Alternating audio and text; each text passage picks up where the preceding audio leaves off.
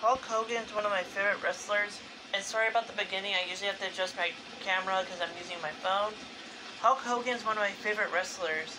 I like plush toys, so I got this plush toy that has a plastic head. Here is him next to Thor. They stand almost about the same height, but Hulk Hogan's a little taller with the top of his head. He is very tall. I wrote my name, I tattooed my name on the back right here. He's a perfect plush toy, mainly ragdoll-like with a plastic head. The plastic head, though, has incredible details. It'd be perfect for any little kid to play with.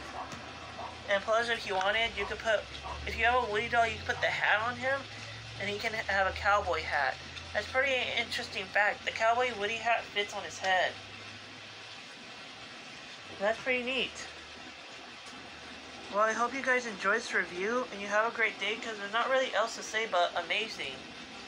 Just stuff, plush, and yeah. Shirt does not come off, though.